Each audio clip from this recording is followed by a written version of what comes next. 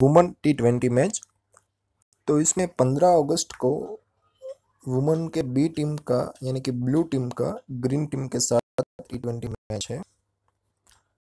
इसमें हम wicket keeper में तानिया भाटिया को लगे, क्योंकि वो नंबर चार या पाँच पे आएँगी बैटिंग करने। और उसके क्रेडिट भी आठ है। यहाँ पे मिथाली राज को नहीं ले पा रहे, क्योंकि अगर उसको लेते हैं ना तो पीछे बॉलर में वो सभी में दिक्कत होती है। इसलिए हम एक मिथाली राज को नहीं ले रहे।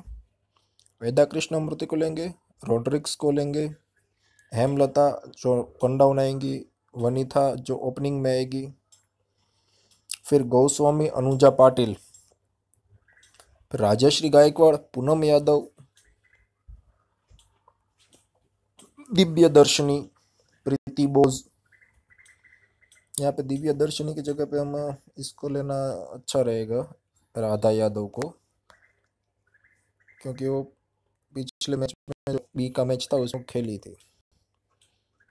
तो ये हो गया, इसमें कैप्टन हम कृष्ण मूर्ति को बनाएँगे और वाइस कैप्टन वनीता को।